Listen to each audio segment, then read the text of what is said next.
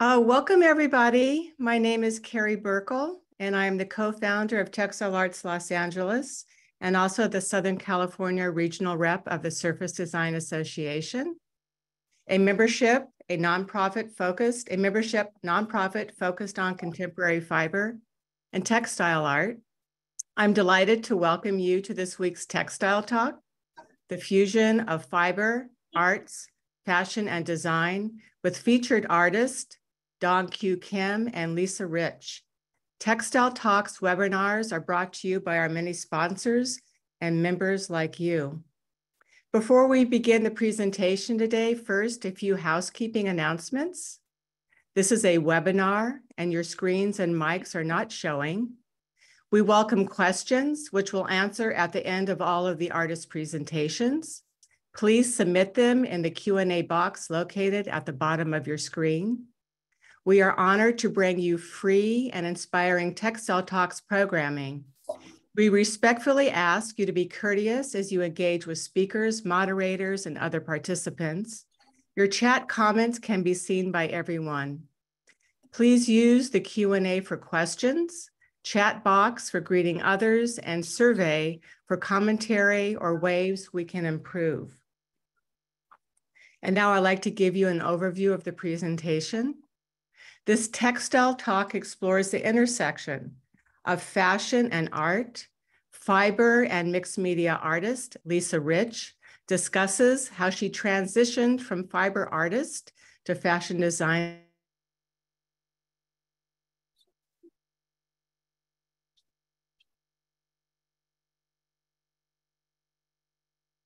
to the present. Her passion for fashion still continues in her art practice today in the form of wearable art pieces, which he calls body sculptures. Dong Kyu Kim explores how the fashion and art markets are embracing and emerging with one another since the Louis Vuitton and Supreme collaboration um, in 2017. Currently a fashion design director at First Row, as well as a practicing textile artist, Kim brings valuable insight on the current and future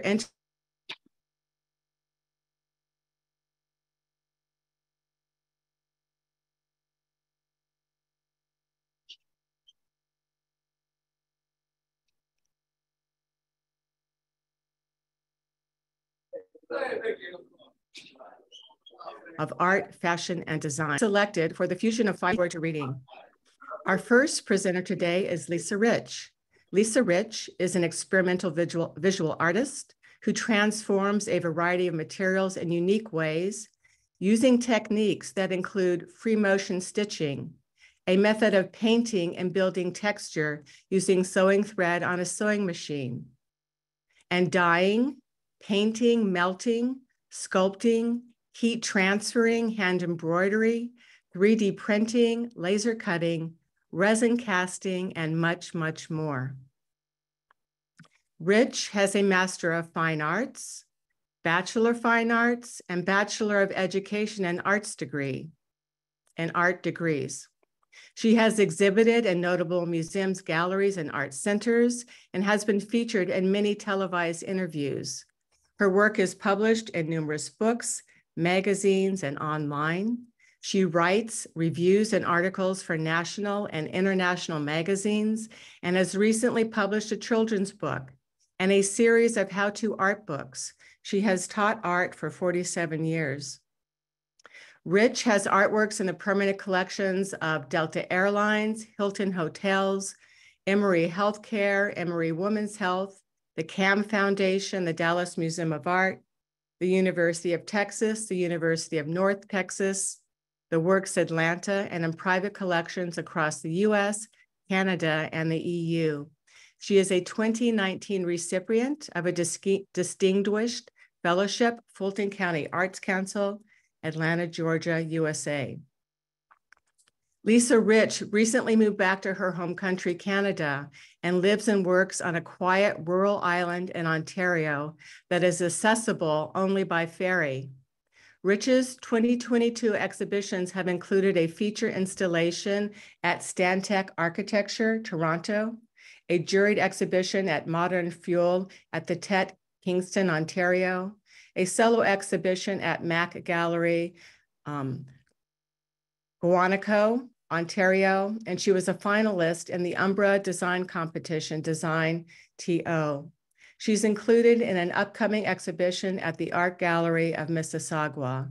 So um, Astrid, you are sharing Leisa's screen. So Lisa, please take it away. Hello, everyone. Today I'm going to trace my path from the 1970s to the present in the fusion of fiber arts, fashion, and design. Next slide.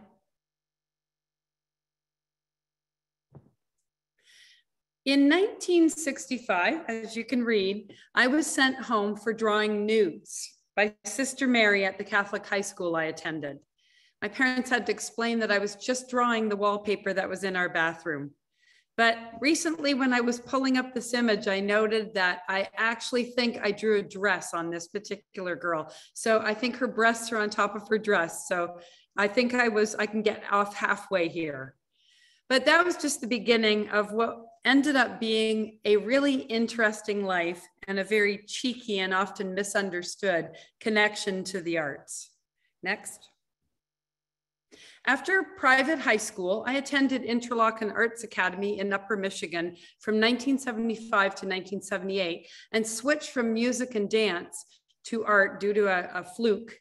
I attended there for uh, weaving during 1977 and 78. And when I got out of, Inter, of Interlochen, and uh, then I went to the University of Michigan for my BFA in fiber arts, I was weaving these large sculptural works.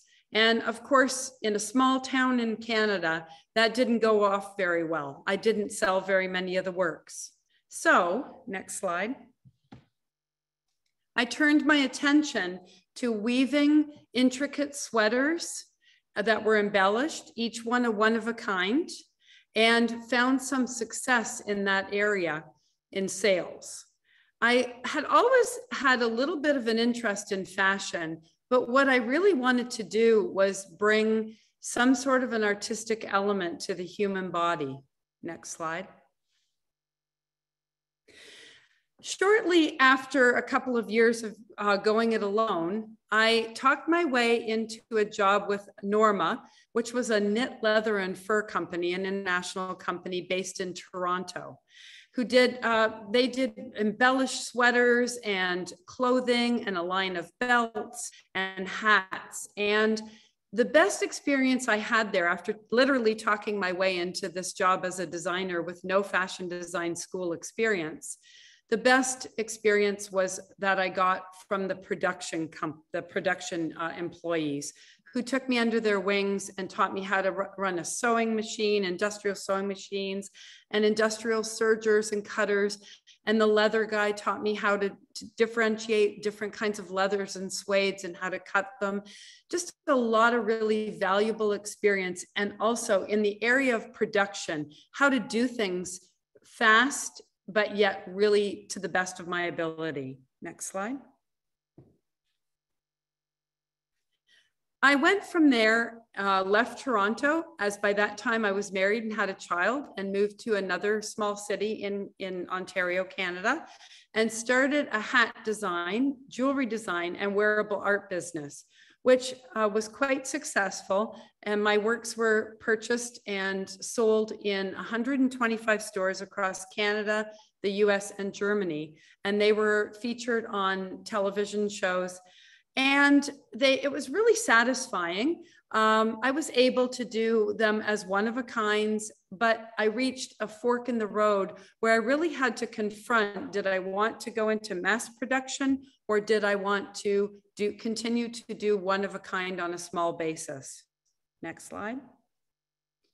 It was at that time that we actually relocated with the kids, two kids by this time, to Kauai, Hawaii. And it was a painter that I met there who admonished me for just doing um, artware and selling some clothing. She had seen my art portfolio from the earlier years, and she suggested that I take that talent and that interest, but that I return back to my non-functional roots. So these pieces were done during those couple of years on Kauai when I tried to meld uh, my art and sculpture, love of sculpture and three dimension, three dimensional into uh, wearables that were borderline between the two disciplines. Next slide.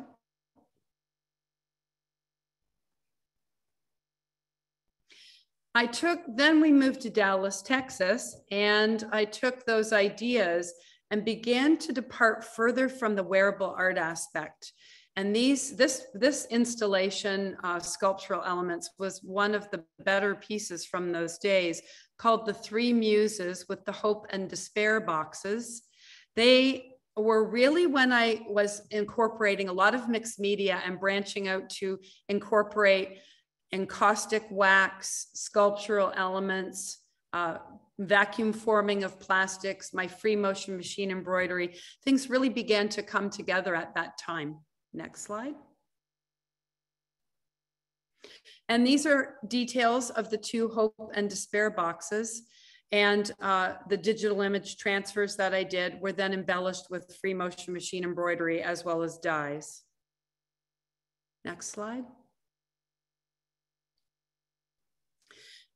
Again, addressing the, the two, straddling those two areas between art and fashion, art and the human body, that fusion, this piece began to depart even further from the three muses into uh, even more of a sculptural area and with stronger conceptual statements.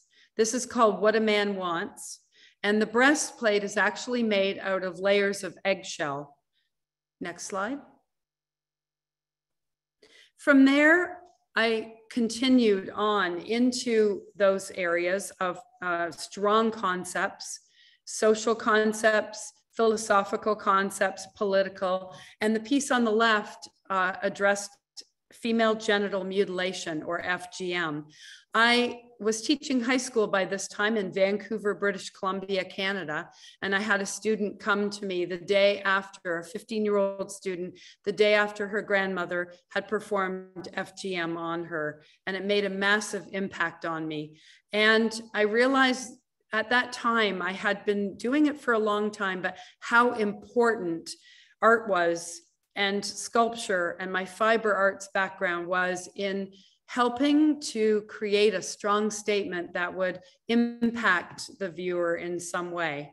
The piece on the right addresses dense breast tissue in breast cancer uh, survivors. My mother was a breast cancer survivor, and uh, that piece um, has uh, employs wax and fabric, free motion stitching, hand knitted wire, as well as silicone.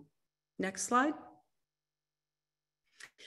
I lightened up a little bit shortly thereafter and did a comical series based on vintage, vintage comics that was called um, No Sense Crying Over Spilled Milk.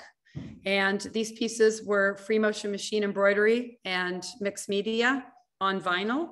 And then the piece on the right again incorporates the human body. And this was just the three panel, triple panel piece that did have uh, two other components to it that had the rest of the human body. But as you can say, this is, uh, see, this is the brain and the head. Next. Just shortly before, literally right before COVID hit, in fact, I had to send somebody uh, racing to Coastal Carolina State University to take down my exhibition uh, I had been working for some years uh, with stronger incorporation of the viewer as a participant into my work. And the one on the left is the Coastal Carolina show in which everything was viewer interactive. There were pieces you could pull off the wall, things you could rearrange, toys to play with, and a garden you could swing in. And the one on the right has a contortionist in the inset. I created the bodysuit, which also had free motion machine embroidered veins over the face and placed her into a large installation from which she rose and performed. So in that piece especially, I think you can see how I melded uh, that art with the uh, fashion and the human body. Next.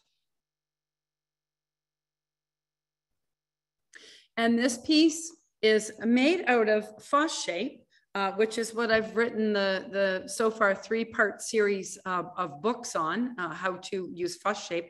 And it's a material that's in your car that I have been working with for a number of years. And these are breast like, uh, ligament like. So again, uh, he, you know, referencing that human body, but placing it onto the wall and having it be a, an ever changing um, installation that goes on the wall. Sometimes it's been on the floor. It morphs and changes through time.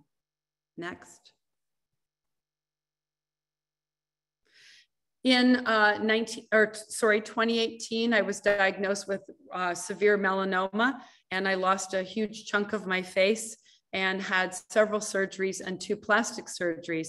And this exhibition, which was a solo exhibition, was the, at the end of that process and everything in it was stitched and sliced and diced and things put back together again. And of course, the pink does reference breast, or sorry, cancer survivors. Next. Now, I really love to take my pieces and to incorporate them with others in any way possible. And this is the performance troupe Liquid Sky and uh, one of their performances. They're based out of Atlanta, and I did a few things with them, collaborations. Next. And then this one, these uh, are those booties that workers put on their feet or hospital workers put on their feet, and there are thousands of them that are stitched together in a statement that uh, addresses uh, abuse of women and objectification. Next. Oh, I should note that that last one is called uh, Cat Call Booty Call. This one um, has, uh, again, I'm returning and continuing with melding the artistic and the installation uh, and the viewer interaction, uh, all of those things. The piece on the right is uh, particularly interesting, I think, um, because I have taken the bones of the human body and then I have just uh, stitched them, those bones onto white vinyl and then created the entire, uh, the entire coat. Next. Recently, as uh, was introduced, I moved to a remote island in Ontario, Canada. That's only accessible by ferry. There's no doctors, no retail. And I've been actually doing a body of work for about a year and a half that places animals instead of the human into different roles, uh, both of uh, humans versus animals and also animal versus animal as the deer and the coyote, foxes, etc., go through my property, three plus acres, pretty much every day. I'm right on the St. Lawrence River. So a lot of immersion right now in nature. Next. And then to end my slide presentation are the three works that are in the SDA uh, EIP. And so those works are um, I'm really excited to be included, and I thank the SDA so much for this opportunity. And I hope that you'll all read the EIP on the journal when it comes out, because there will be an expanded explanation of each of these pieces. They all have a particular concept that I had in mind when I was making them. And uh, I hope that you all will read the journal. And thank you so much for coming today.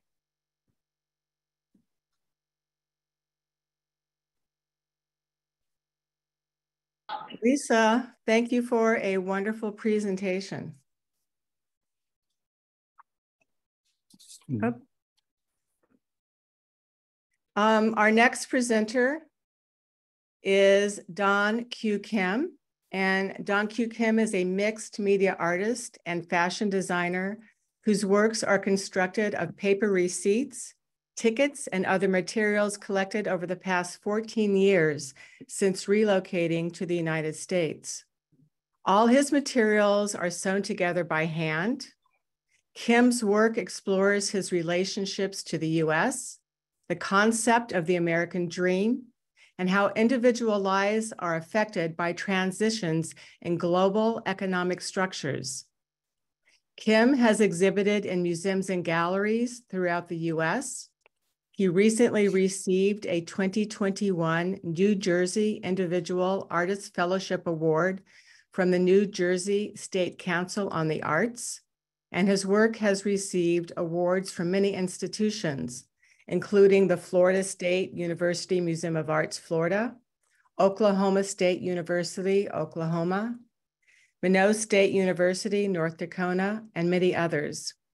He received a Bachelor of Fine Arts degree in fashion design.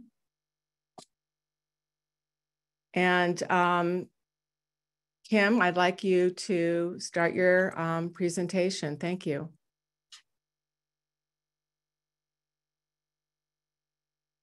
Thank you, Leslie, for um, introduction.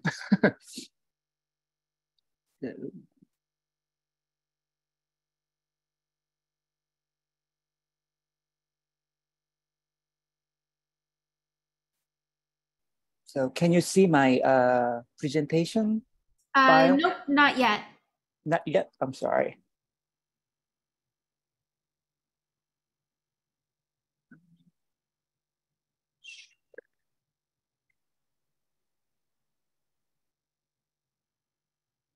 Can you see that? Uh, yes, and then um, do the play slideshow so we see full screen. Sure. Perfect. Thank Okay, you. thank you. Hello, everyone. Uh, thank you for uh, thank you so much for your time and support today. Um, I'd like to thank Astrid and Carrie for giving me this wonderful um, opportunity. My name is Dong Kyu Kim. I'm a fashion designer and a multimedia artist. I moved to the US in 2007 for my job, and I lived in New Jersey for 14 years. Um, last year, 2021, I moved to LA, California.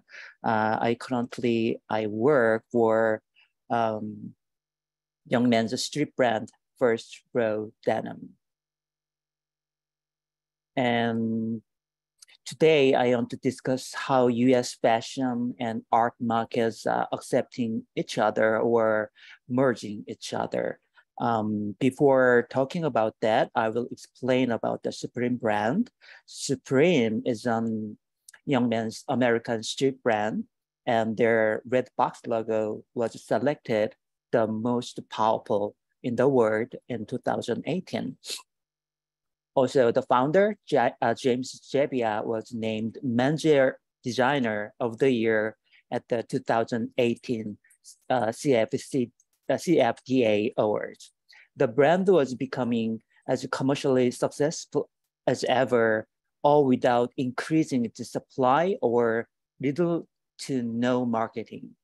The cult of Supreme was shifting from the, if you know, you know, skate community of 90s Soho to the droves of Instagram hypebeasts vlogging their weight in a drop line or flowing a month's rent on a resold hoodie. In case you guys want to know more about the Supreme phenomenon, please check the article of uh, Christie. Um, I will share the web, uh, the link. And first of all, I need to talk about the co uh, collaboration between Supreme and Louis Vuitton. It was the first time that streetwear was taken seriously in the high fashion space. Uh, since Louis Vuitton and Supreme um, uh, since you know since uh, Louis Vuitton and Supreme collaboration, the concept of fashion and art collaboration became the norm. Of course, there were many examples of uh, collaboration before their collaboration. Um, you, you guys already knew about the famous um, Yves Saint Laurent and Mondrian dress in the 60s. And uh, you, you guys will also remember uh, Louis Vuitton and Murakami Takashi's uh, colorful um, monogram uh, bag in the early 2000s. Their collaboration achieved a, a huge commercial success. Um, after Louis Vuitton and Supreme, the case of fashion brands and fashion brands or fashion brands and artists collaboration uh, exploded. Um, page five shows recent collaboration between fashion brands and artists. First is Nike and Tom Sachs, and second one is uh, uh, Raf Simon and uh, Sterling Ruby. And, and recently, uh, Lanvin and Gallery Dept, uh, the artist, the ho uh, host, Josué Thomas, uh, their collection was very popular. And the, lastly, um, uh, Japanese brand uh, Readymade and uh, American artist Collie Thornhill Do It. They uh, made a, a, clothing brand Saint Michael um, together, and uh, today uh, this brand is really really popular right now, and um, past 10 years, uh, US uh, retail market has ex experience um, new, cha uh, new changes. Young customers' shopping habit has been changed a lot because of new technology, such as online shopping. The collaboration between Supreme and Louis Vuitton become, became a social phenomenon. Young generation was crazy about the collaboration uh, collaboration products. They share their interest via new media such as Instagram, Twitter, YouTube, and most recently, TikTok. Um, oh, furthermore, young generation created resale market for this um, product. Soon after this collaboration, the resale market, um, Stadium Goods, um, stock StockX, the RealReal has been booming. I'm not sure uh, you guys are uh, familiar with this uh, platform, but uh, this is kind of new vintage market. Um, it was very interesting for me because the strategy of selling these products is similar to selling art. Resellers play a role as an art dealer, curator, and um, art historian and art critic. Um, one of popular collaboration product among resellers is by Virgil Abloh. He uh, collaborated with Nike many times and Supreme, Louis Vuitton, IKEA, Rimowa, and many others.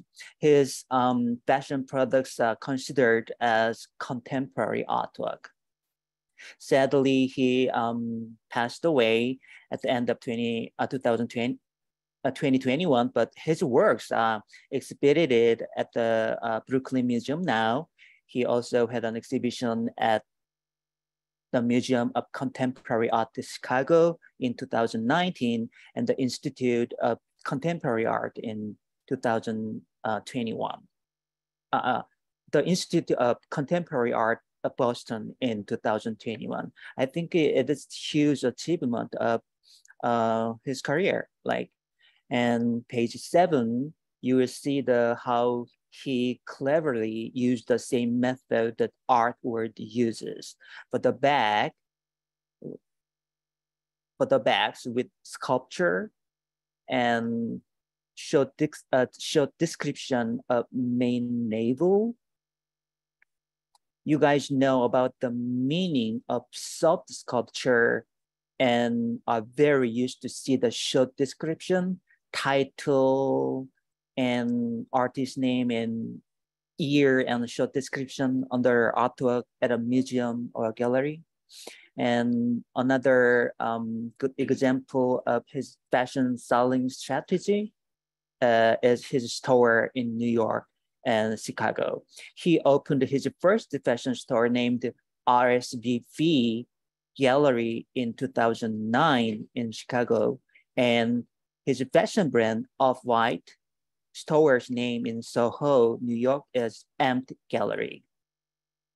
It um, seems that he was trying to manipulate people's fantasy of artwork because buying an artwork is relatively rare and special experience. It is, it is only allowed for a limited people. Virgil Abloh is the great example of blurring the boundary of his fashion and art. Um, as I as I watching the blurring boundary of fashion and artwork, I need I wanted to implement it to my artwork. In 2018, Supreme Supreme popularity was at peak. I started visiting a Supreme store and purchased one item uh, every week, and I created my artwork with my shopping experience and materials such as papyruses, um, promotion stickers, vinyl shopping bags, and more. So I want to show a um, little bit of my uh, video.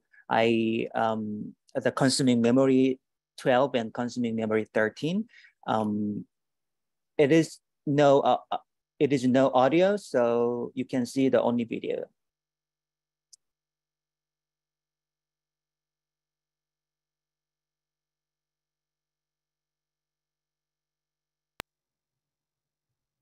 Um, Dong Kyu, it's not playing for us. I'm not sure why. I'm not sure why either. I'm sorry. um, um, it, it was my short video about my uh, uh, my activity.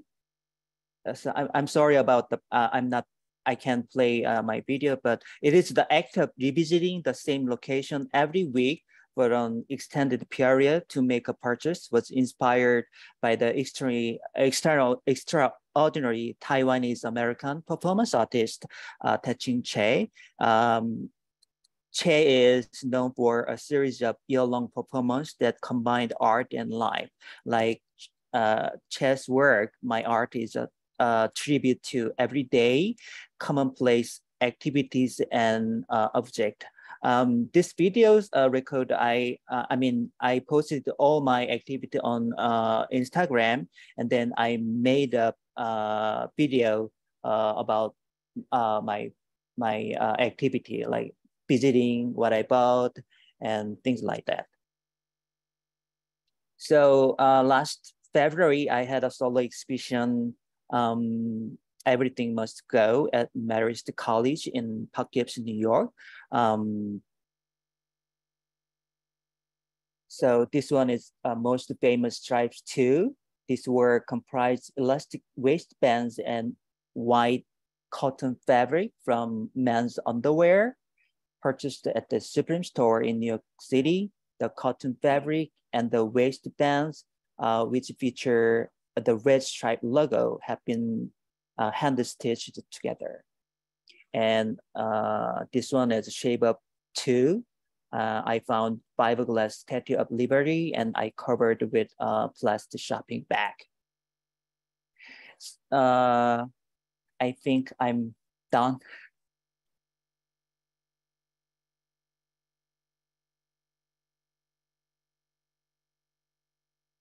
So I'm not too sure if my video connection is working, but I want to thank both Dong Kyu Kim and Leisa Rich for such wonderful, engaging um, presentations today about your artwork. I encourage everyone to please um, put your questions in the Q&A on the bottom of your screen so Dong Kyu and Leisa can answer. But to start off um, that process, I have a few questions of my own. And uh, and looking at both of your works, Dong Kyu and Kim, I see some strong commonalities. You both have a love of materials and engagement with materials in unique ways. You use and repurpose, you reuse and repurpose materials. You create the extraordinary in the ordinary through assemblage, collage, composition, stitching, and sculpture. Uh, you exhibit a sense of curiosity and playfulness. You both have an attention to detail. Your hand is evident in the making of your work, and there are elements of magic and mystery. And you both work in areas of fashion design and art, incorporating the garment and costume. And what really struck me forcefully were the strong concepts of identity and communication in both of your practices, and of course, your, how your personal lives um, integrate and inform your artwork. So I'd like to start with Dong Kyu. And mm-hmm. we had a little bit of a discussion yesterday, but how does the identity how does the idea of identity show up in your artwork? And then I'll ask Leisa the same question. Mm, So we talked a little bit about identity. Yeah, I think identity is very interesting subject because all my artwork tells about my identity and my uh, main medium uh, was the paper receipt. I saved, I collected all my um, paper receipt since I moved to the US. Like it was kind of 15 years and I create my artwork with my uh, receipt, paper receipts. And it tells about myself, you know, what, who am I and what am I? And um, yeah, so identity is kind of um, my uh, uh, my main like uh, subject like to create my artwork. Thank you. And you, you did talk a little bit yesterday about how you are an Asian person, Mhm. right? Living um, in the United States and Mhm. um, and and you have this wonderful body of work uh, commenting about the United States Mhm. and and consumerism. So I see that as well. Mhm. So, uh, like, how can how can I say this? Like, I always admire like um writers. They I think they are very good at delivering their thought and emotion. Uh, but I have a uh, I, I I always feel that I have a difficulty to communi- communicate with uh, people even in my first language Korean. But um, in especially in uh, USA, I'm not good at speaking English, and I'm a Asian immigrant, and I have some deep, you know, there's a there's a um, language barrier. So um, I really want to communicate with with the other people. That's why uh, I start to create my artwork. Like I want to tell my story and my emotion, and um, so I think my artwork is kind of a visual language to communicate with other people. That is that is my strong uh, motivation to create my artwork to communicate uh, with people, especially uh, American society. Like I'm here, I'm invisible, but I'm here and um, I'm living here. Something like that. I want. I want to talk about. I want to speak about that. Thank you, Dong Kyu. I think you do it really well. And Thank. Leisa, I'd like to ask you the same question. Question: How does the concept of identity show up in your work? Uh, well, it's uh, based on a bit of uh, four prongs, really. I, um, I have a background of early Catholicism, uh, spending a lot of time in churches when I was young, in Catholic churches, which are very sumptuous, very rich colors, jewel tones, uh, embellishments. And I think that my frank, frank, frankly, my boredom sitting there in that church pew as a small child, I spent a lot of time looking around and really absorbing all of the details of all of those incredible things and the tactility and the beauty of the color. So there was something of that in there. Uh, I also think that um, being in a small Canadian town, I really felt early on that I was total and complete misfit. I did not fit in. It was really clear. And so I escaped uh, at age 15 to attend Interlochen Arts Academy on that music and music scholarship and ended up in art there. So that's, you know, the kind of the second prong. Um, I'm also legally deaf and I, yeah, there's a lot of information and on my website, I have a little video that addresses that. But I really do think that um, those experiences, early experiences uh, that I, I I had as a child with tactility and with being surrounded by a weeping willow tree, things I've talked about extensively, the It's a Sm- Small World ride at Disney, all of those things were really impactful when I was a very young child. Um, so, you know, I think all of those things um, contribute to a sense of my ident- identity as someone who loves sumptuousness and sexiness and color and um, am passionate, love the tactility. And like Dong Kyu said, I'm very interested in communication and in particular my works that are uh, viewer interactive or even just tactile. Uh, they are basically an invitation for people to come into my world. And for me, that's my hug. That's my way of touching them. Uh, and COVID has really put a damper on those viewer interactive works. So I'm, um, you know, looking at, been looking at all kinds of different ways to, um, to put that that same communication method forth forth without so much you know so much um, interaction Thank you. I mean, of, of course, how can, how, how cannot the personal inform um, your artwork in such a, a significant way? Um, another area, we don't have any questions in the Q&A yet, Mhm. but um, another area of focus obviously is how you both use materials. And I'm curious um, if you can talk about how materials is a focus in your work. I don't know who would like to take that question. Wow, I think it's, I, I mean, I think it's really strong in both of our works uh, in totally different ways. But for me, um, uh, first of all, it's just the materiality also for me. That's sort of two different things for me. On one hand, I just like materials. I love the feel of them. I love the tactility of them. I want to touch smooth things, nubbly things. Uh, and maybe that's one of the reasons I work with so many different materials is just that what can what can happen if I put a hard thing with a soft thing? What happens if I take this the Fosshape, this car material that was that's in your car above your head, you know, underneath the header fabric? What happens if I take that and I heat manipulate that for artworks, you know, that's new and different. I'm really intrigued by that. But on the other hand, it's, um, you know, it's also uh, for me a way to express conceptually. How can I take these materials, which are made by someone else, by a factory or woven by someone else even or printed on they've they've experienced a whole other life before they even get to me and so then I have to take them and I have to change them and alter them to make a statement of my own using things that have a previous life. And, um, and I, I just, I love the um, trying to make things do things that they were not intended to do. And that's a challenge, right? that's a problem. A wonderful challenge.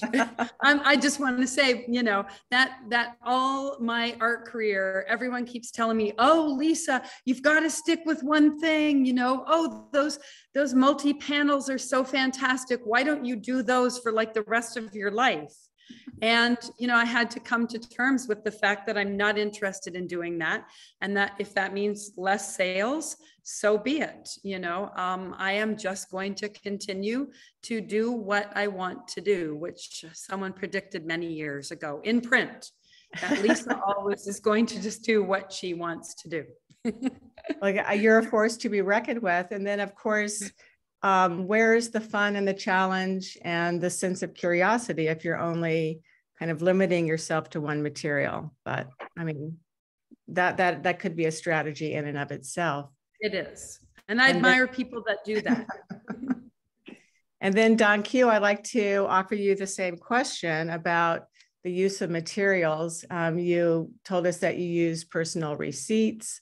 Mm-hmm. Um, and I'm really curious like what what what what was your first impetus in the idea? Like what was the receipt all about for you like what was your discovery? Like aha i have this this really common mundane material and how can i turn it into um, something meaningful for me? Where did that come from? Um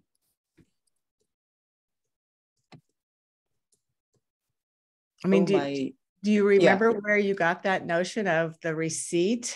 yeah i mean um let's say uh, my material tells uh, many story. I use my uh, material like uh, from my everyday activity like uh, paper resist or shopping bag or uh, face mask. So i want to show that uh, my first artwork uh, made up uh, my uh, paper uh, paper receipt. So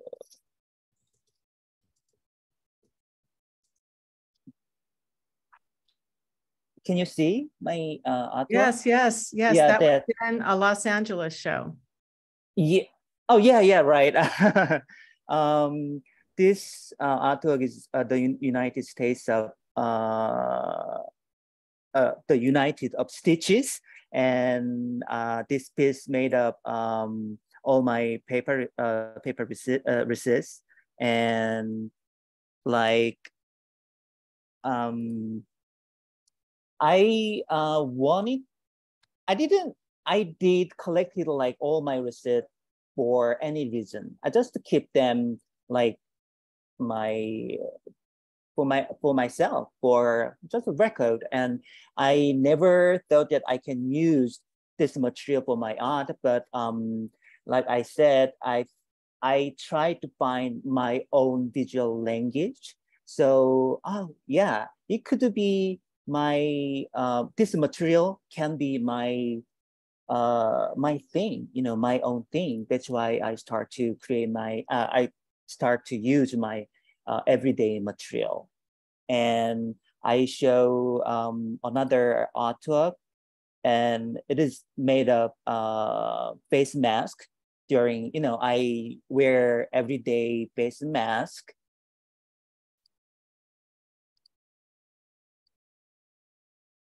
And can you see this? Yes. Yes, this is uh, this artwork is made of my uh, face mask, and it tells many things. Um,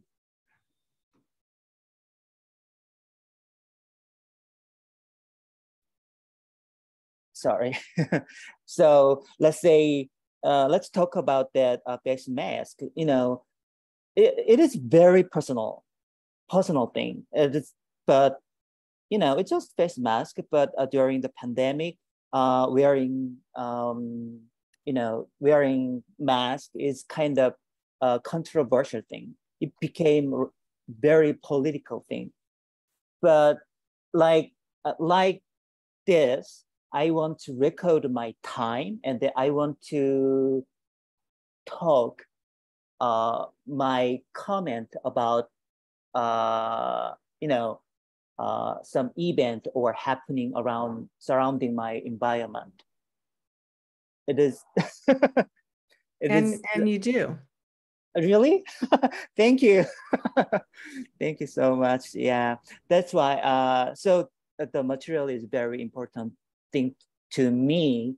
Um it is kind of tool to communicate with other people. It is very common uh it is a very you know uh universal and very trivial thing but um everybody knows and then we can uh easily communicate easily share our interests with with my art It does, it does have a great relatability. Mhm. You're right. And then there's also a sense of reading you Mhm. through your Yeah. receipt and, and yeah. that sense of vulnerability, putting Uh-huh. yourself out there. Uh-huh. Um, we do have a couple of questions um, from our Q and A, and I know Mhm. that there's a lot of information also going in the chat. Uh, but I'd like to read a question from Laura Rylander um, to Dong Kyu. And she says, um, let's see.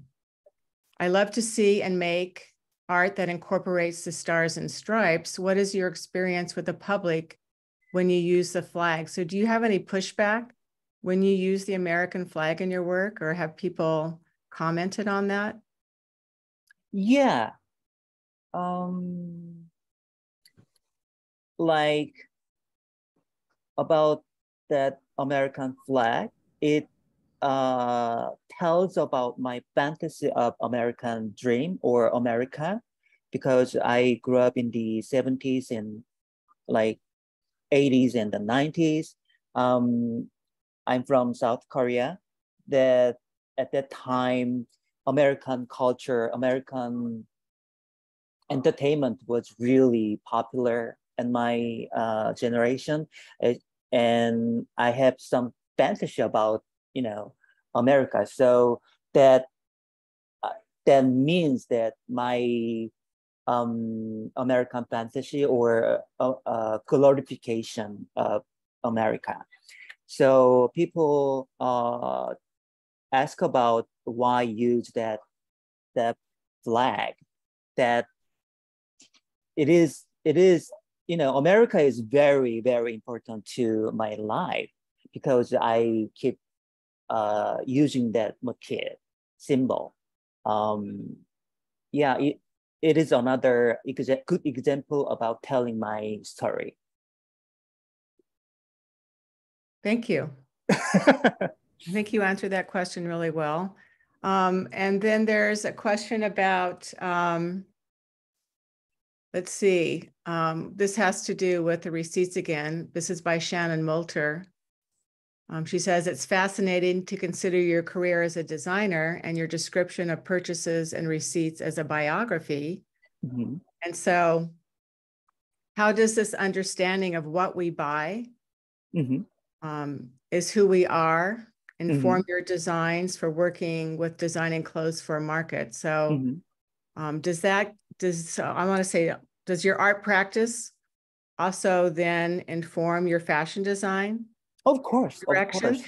Yeah, I, I mean, like, it, you know, combining fashion and art is a huge trend, and I really want to um, involved with that. Like that is great. Uh, that is powerful motivation to uh, create my art for me. Like, um, yeah. So like at some point i want to combine my art career and my fashion career so i want to make a profit from my art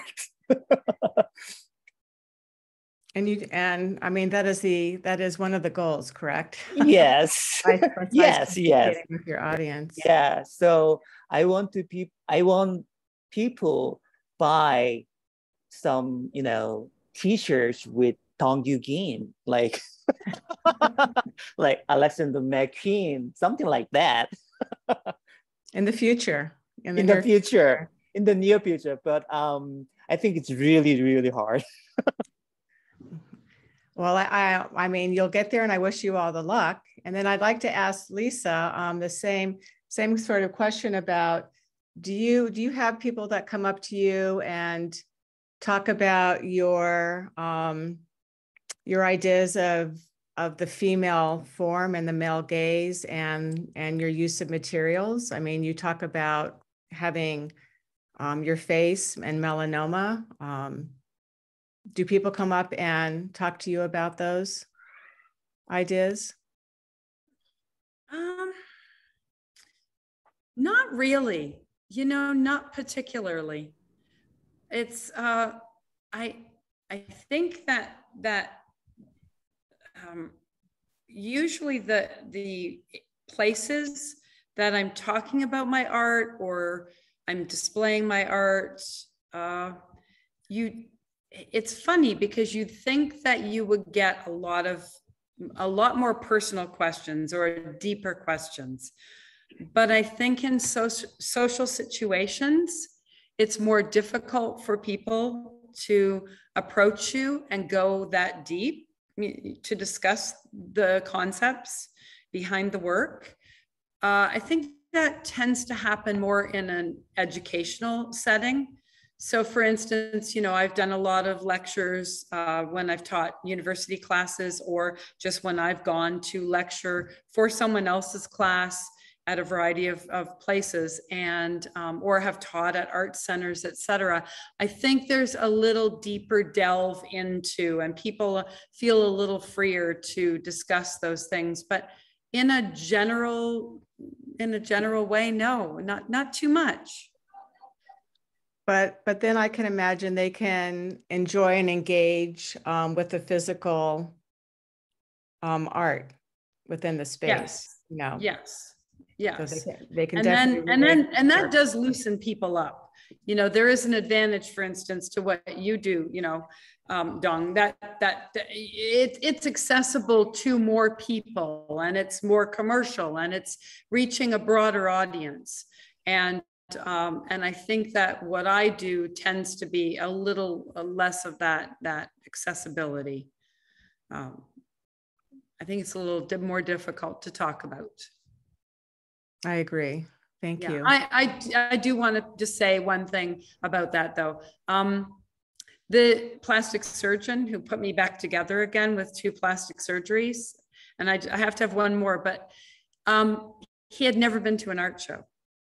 And I invited him to that art show for my, that addressed my, my, my cancer on my face that he fixed.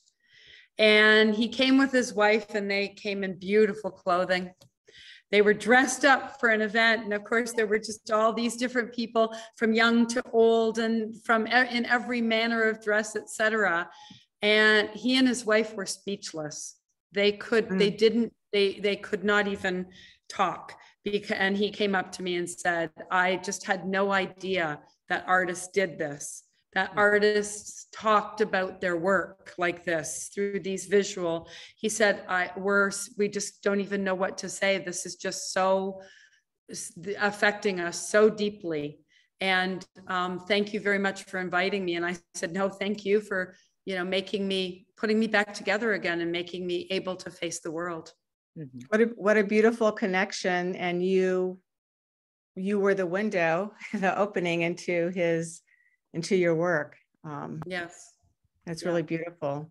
So we're almost at three o'clock and I wanted to thank both of our presenters today, Leisa Rich and Dong Kyu Kim, for um, opening up your artwork and um, your expressions of it today.